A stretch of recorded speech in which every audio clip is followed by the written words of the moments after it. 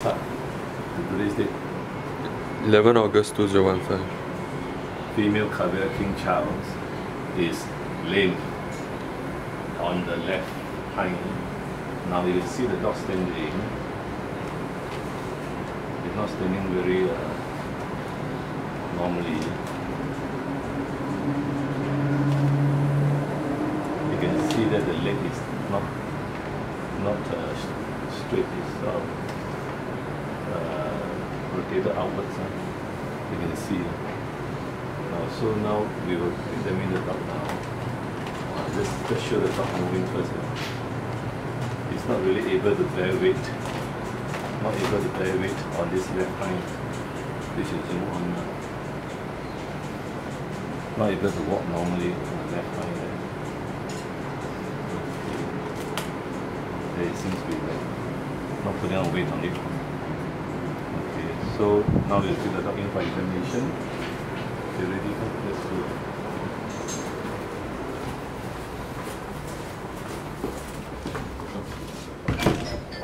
Okay, examine now.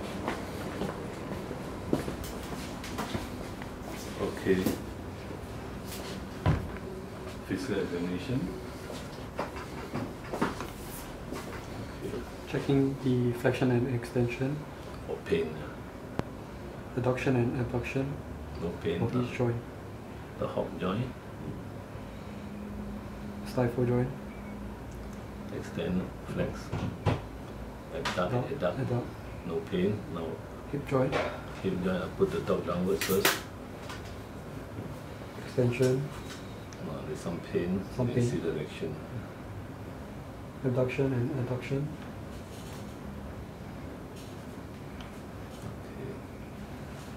Then comparing the length of both hind legs. which one is shorter? Left hind leg By is shorter. extending the hip joint, extend the hip joint. Left hind limb is shorter due to cranial dorsal luxation. Luxation of the femoral hip. Okay. So, so now we will put this side on the side. So do the extension again. There's some pain. You can see the dog's reaction. Extend. Abduct, abduct. Now had some painkillers, so it's not so obvious. Okay, now we look at the X-rays. So we look at the X-rays now. Okay, explain the X-rays. That is the ventral dorsal view. The ventral dorsal view of um, the hip joint. The Arrow. The arrow represents the femoral head has been cranial dorsally displaced from the acetabulum of the Left. hip. The left side compared to the right side. Yeah? The left side as, as compared to the right side is the right side is normal as compared to the abnormal left side. Uh, it's inside the joint. The left side is spaced out. Now there seems to be a bone chip here. uh, Fragment. uh, Broken bone. So this is the ventral dorsal view. Cavalier King Charles, female, 7 years. Okay, now we look at the other view. Okay, how about this view?